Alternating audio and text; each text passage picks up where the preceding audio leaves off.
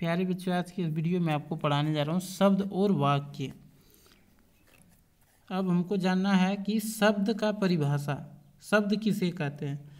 दो या दो से अधिक, दो या दो से अधिक वर्णों का सार्थक समूह शब्द कहलाता है। दो या दो से अधिक वर्णों का सार्थक समूह, सार्थक मतलब होता है सही। सार्थक समूह शब्द कहलाता है, जैसे अ जोड़ ज, जोड़ ग, जोड़ र, बराबर क्या हुआ? अजगर। ये चारों शब्द मिलके क्या बन गया? अजगर। फिर अजगर का अर्थ एक जानवर का नाम। अजगर का अर्थ क्या है? एक जानवर का नाम। फिर है ग जोड़, र जोड़, अ जोड़, जो। क्या हो गया?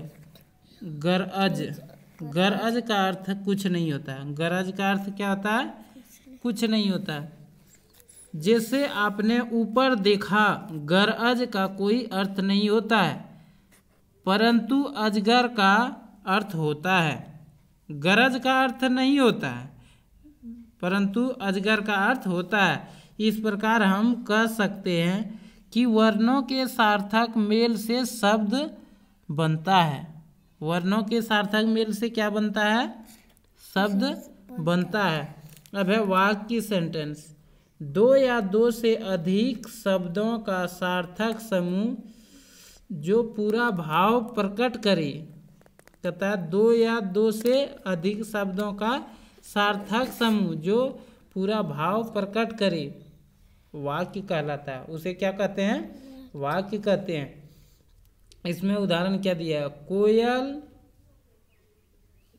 उसके बाद है जोड़ का चिन्ह दिया है। गीत फिर है जोड़ का चिन्ह फिर है गुहाकर फिर जोड़ का चिन्ह है फिर रही फिर जोड़ जोड़ है उसके बाद है।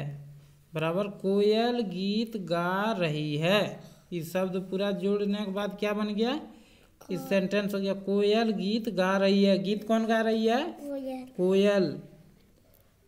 उसके बाद फिर देखिए, एक बना है, दूसरा है जोड़, रही, फिर है जोड़, गा, फिर जोड़, फिर गीत, फिर जोड़ जोड़ का चिन्ह है, फिर कोयल।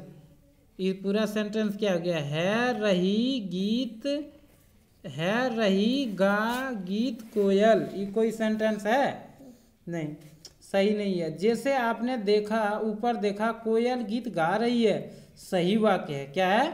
कोयल गीत गा रही है। ऊपर वाला क्या है? सेंटेंस सही है। लेकिन नीचे वाला? गा रही सही।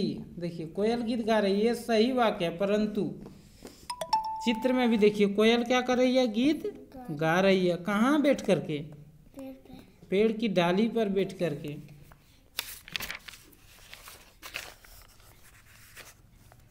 गा गीत कोयल का कोई स्पष्ट शब्द नहीं है। ये गलत वाक्य है। क्या है? गलत। वाक्य है। इस प्रकार हम कह सकते हैं कि शब्दों का सार्थक मेल से वाक्य बनता है। शब्दों का सार्थक मेल से क्या बनता है? वाक्य बनता है। प्लीज़ दोस्तों इस वीडियो को लाइक करें शेयर करें और सब्सक्राइब करें। जय हिंद जय भारत।